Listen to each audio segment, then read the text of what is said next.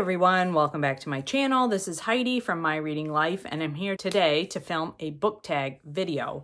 Yes, I know, I very rarely film book tags anymore. I do enjoy them, but I just can't seem to fit them in to my schedule. But I really wanted to do this one because it is Nonfiction November and this is the Nonfiction November book tag. So this was originally created by Bookish Travels and I was tagged by Book Chat with Pat and I will link both of those channels down below.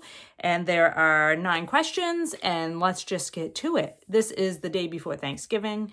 I took the day off from work so that I could be fully in my um, prep for Turkey Day mode. I am in the middle of like baking and prepping and all that sort of thing. So thought I'd take a minute and just do this book tag and talk about nonfiction, which I love. So the first question is, what motivated you to pick up your first nonfiction book and can you remember it? I don't know what my motivation was, but I know that I have always loved nonfiction. As a from a young age, I was drawn to nonfiction. I like to learn about things that I don't know anything about, and I prefer to do that through reading rather than other forms of learning about stuff. I do have. I don't know if this is the first non book nonfiction book that I like brought into my library myself, but this is Frosty, A Raccoon to Remember by Harriet E. Weaver. And this exemplifies the type of nonfiction that I was really drawn to when I was a child animal nonfiction. True stories about animals were it for me. Um, and this uh, was a book that I believe the library was, the library at my elementary school was like getting rid of because there are other children's names in the front cover and then my name, um, Heidi P, written in cursive right there um, to denote that this is now my book. And this is, uh, I vaguely remember this book about a family that adopts a raccoon um, and the shenanigans that that raccoon gets up to. But this was the type of nonfiction that I really, really enjoyed as a young person.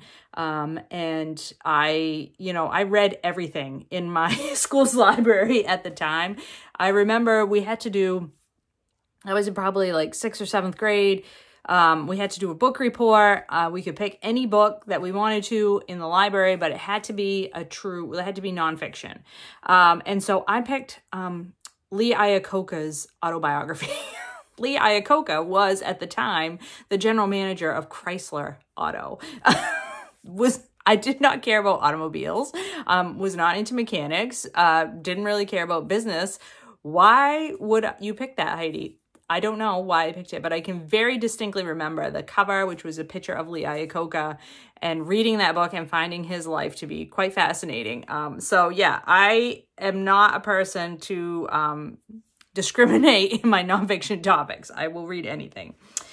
Question two, how do you choose your next nonfiction read? So I am a person that likes uh, a lot of structure in my reading. I'm not particularly a mood reader. I do, I participate in a lot of buddy reads and themed reading events. Um, I co-host the Book Naturalist Book Club where we read a lot of nonfiction, nature writing nonfiction specifically.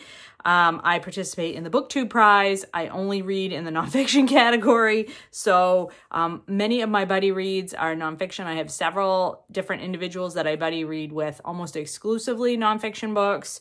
Um, and then I have my personal projects like my presidential reading challenge where I'm reading a presidential biography for each president in chronological order. Um, so yeah, I am constantly picking up nonfiction books to read and I um, also like to go down rabbit holes. Uh, so for example, I recently read the biography of Franklin Delano Roosevelt. I then read a nonfiction book about polio because FDR had polio. And I'm currently reading No Ordinary Time, which is a nonfiction book about Eleanor and Franklin specifically during um, World War II. Um, and I will then read a biography of Eleanor herself. So, you know, you can see how it rolls, one book rolls to the next, um, whatever my interest is at the time. Um, so that's how I pick my next nonfiction read. Um, question three, do you take notes or annotate your nonfiction books? And yes, I do. Not always, but very often and often when I'm doing a buddy read. So I think a really good example of this is this book, um, The World Turned Upside Down, A History of the Chinese Cultural Revolution by Yang Jisheng. Um, this is translated from the uh, Chinese by, um, hold on, let me get to the translated, Stacy Mosher and Guo Jian. So I um, read this with uh, Joe Smith and you can see that I tabbed this. And these very colorful tabs denote this um, key that I use to mark things that I need to learn more about because I didn't understand them. Pink ones were for discussion. Yellow ones were things that I had no idea about or were important facts that I thought we needed to know. Green was quotes that I wanted to remember.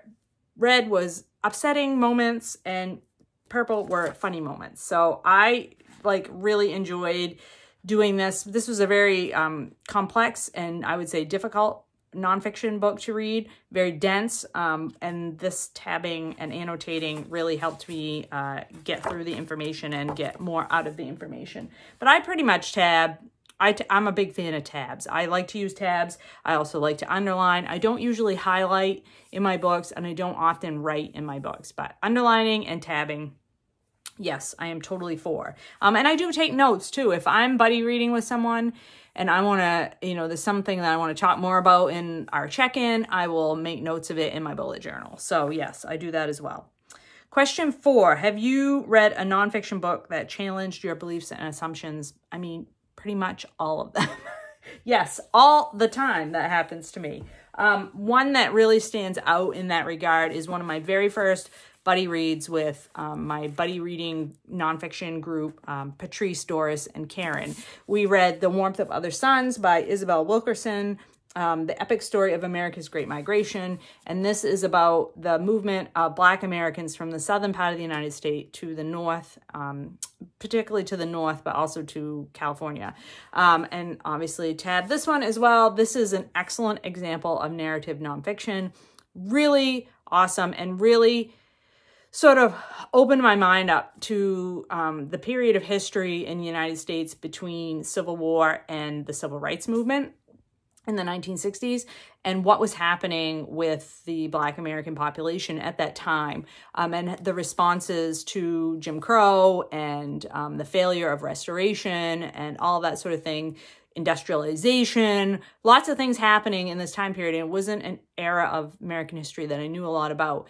And I think the way that Isabel Wilkerson um, talks about history and is particularly about the experiences of Black Americans is mind bending and will alter your um, understanding of American history. And this this was sort of my launching off pad to many of the books that I have read since about the experience of Black Americans in U.S. history. So absolutely changed my way of thinking, this book right here. Um, another one that I would say just recently read that changed my way of thinking was this book, Estrogen Matters, Why Taking Hormones in Menopause Can Improve and Lengthen Women's Lives Without Raising the Risk of Breast Cancer by Avrum Bluming, MD, and Carol Tavris, PhD. And this is all about um, the mythologies around estrogen causing breast cancer or other diseases in women if estrogen is taken um, during menopause or after menopause.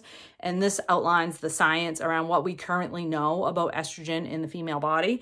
And um, I, this really informed me in a lot of ways about things that I did not know very much about. So definitely changed my perspective on estrogen. Okay, question five. How do you feel about the intersection of storytelling and factual content in nonfiction? Um, I like it in some ways and don't like it in other ways. So I, what I mean by that is I really enjoy narrative nonfiction, uh, like in general. And that is when a nonfiction author tells the story around a particular event or person in history. Um, it works really well with history, I think, but I just like that um, use of that type of storytelling that's very factual and very based in what actually happened or what we know about a particular topic. What I don't like is in memoir when somebody is writing their memoir and they write about events or actions that they took when they were a very young child, when it is obvious that they can't possibly know or remember what they were doing when they were three or four years old. Like, I just cannot, I do not like that. It throws me out of the story. It makes me question the veracity of the rest of the story. And I know memoir is about people's own memories and their own understanding of their own life story, and that's fine, but I don't like that in my nonfiction. I also do not like, um, what do they call it? Uh, creative nonfiction or like basically inserting uh, fiction within a nonfiction book. Um, and there was a very popular book of um, that came out a few years ago that did that and i just i just do not like that in my nonfiction i like my nonfiction to be very based on facts or at least the facts as we know them right now understanding of course that with further knowledge, we might change our minds about something, um, or we might understand something differently. But when people are just like making up stories in the middle of their fiction, their nonfiction, like I just in general don't like that. Um, so like for narrative nonfiction, one of my favorite authors is um, Erik Larson. And my favorite Erik Larson to date is The Splendid and the Vile. And this is um, about Winston Churchill in World War II. And this is a great story, but it's all based on facts. And Erik Larson is really good at um, delving into primary documents, letters, journals, that sort of thing, and getting at how real people, like everyday people, experienced big events. Uh, and I think he does it very, very well in The Splendid and the Vile. So other types of authors, David Grann, David McCullough. Um, there was a book called American Fire by Monica Hesse, which is excellent example of narrative nonfiction um, that I particularly love. So yeah, those are some of my favorites. Um, number six, is there a topic you wish authors would explore? I mean, the depth and breadth of nonfiction that is available to us today is I mean, it's like never ending and I will never read all the books that I want to read. So I would say the only thing that I would want to see more of is more nonfiction that looks at topics from the point of view of women or minorities. I think we're getting more and more of those types of books, things like Hidden Figures that talked about the women who um, basically were the basis of the space race. You know, they were the calculators. They they did all the math that allowed us um, to get into space. Um, and you know, how that, you know, that history from that point of view of these black women who were not recognized for their contributions until much later after the events had happened. I want more of those kind of stories. I want to hear about history from people that I've never heard that history before. I want to know what everyday people were doing during the course of great events. Um, that's the type of book that I like to read, and I would love to see more of that. Um, Question seven, do you incorporate insights from nonfiction into your daily life? I mean, yes, all the time. Um, I am constantly learning new things and applying that knowledge to my everyday life. Um, particularly, uh, you know, the stuff I read about science that goes into my day job, the stuff that I read about history goes into my greater knowledge and understanding of how the word wor world works.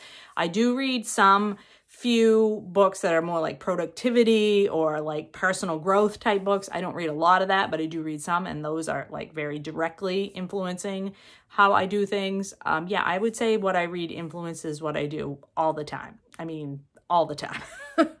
and then question eight is choose just one book from your nonfiction collection to highlight.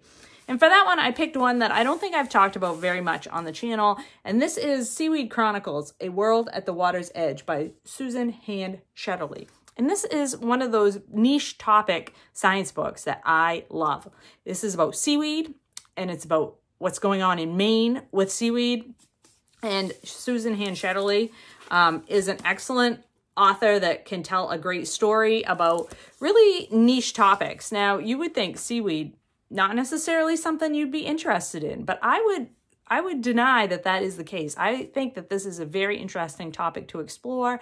I think um, as we move into, you know, the state of the world as we are with climate change, seaweed is more and more important, not only as, you know, an ecosystem, because so many things depend upon seaweed for habitat and for um, something that they use within their life cycle, but we're also growing different seaweeds for food or for supplements. Um, and the book talks about all these different topics um, and talks about the importance of seaweed like in general in the ocean um, and it's just well done and it's one of those topics like who knew that you needed a book about seaweed? Well, you do need a book about seaweed, and you should read this one because it's really excellent.